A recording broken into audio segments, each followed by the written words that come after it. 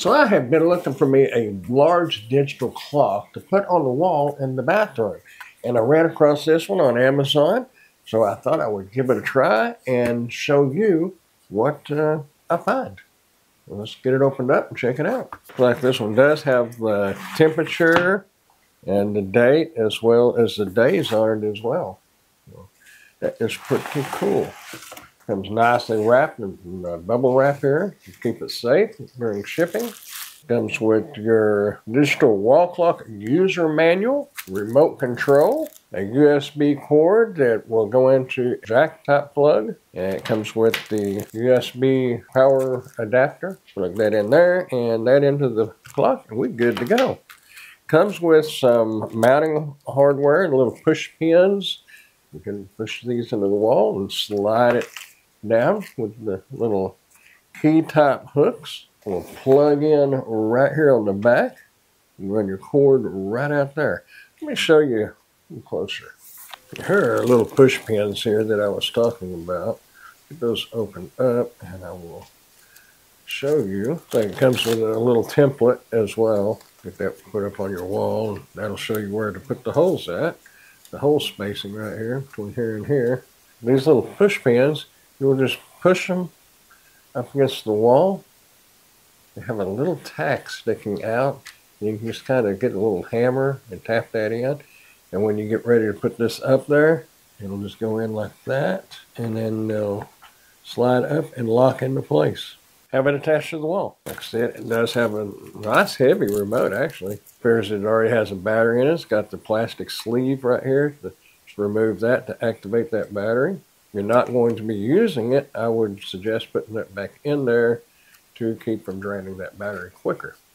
There's that power block and our cord here. So this one is a clear cord, which I prefer. That way it doesn't uh, stand out like a sore thumb up against the wall.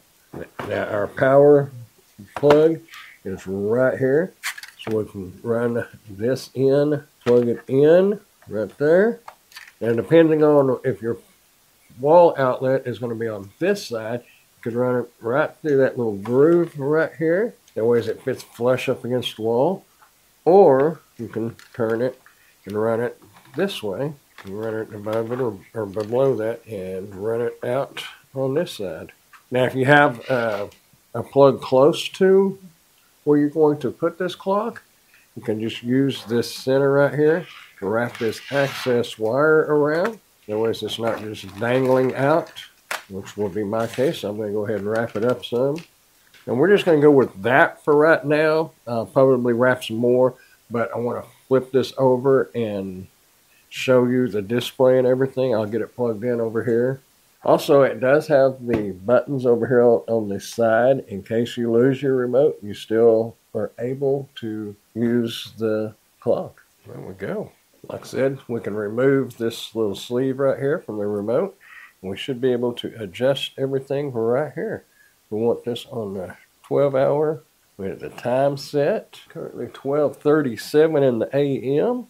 So that's good right there. Of course, we're on a PM, so we need to change that.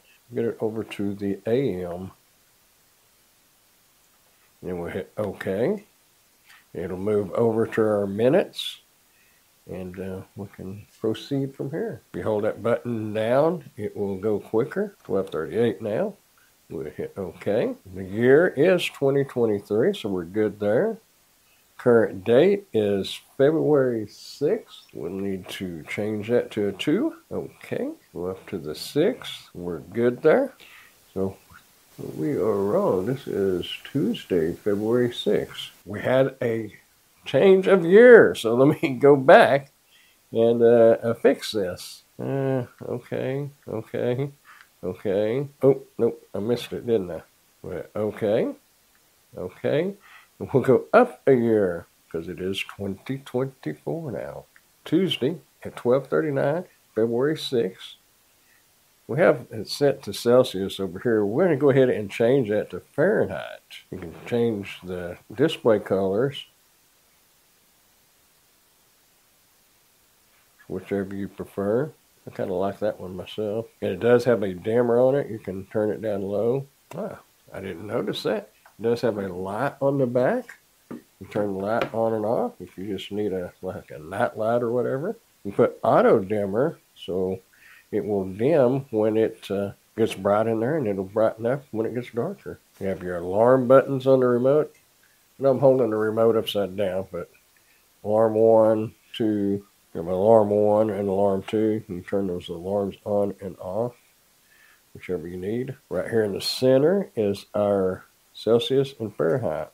We'll flick that over to Fahrenheit. There we go. Currently it's 75 degrees inside my home. This will measure the inside temperature. It won't measure the outside temperature. So that's temperature inside your where the clock is located. You have a timer. You can run a timer if you'd like. You need to pause it, just hit the OK button, hit the timer button, and it will resume. And hold that button in, that timer button up there. You hold that in, and uh, it will set it back. That's pretty much it. Like I said, it's got your different display colors. Main thing is getting it set up, and you can set alarms on here. Um, your inside temperature. Nice little clock. I like it. Okay, now I'm going to go get this put up and uh, hope you enjoyed the video. And I am an Amazon associate, so any qualifying purchases that you make through any of my Amazon links, I will receive a small commission from. Thanks for watching.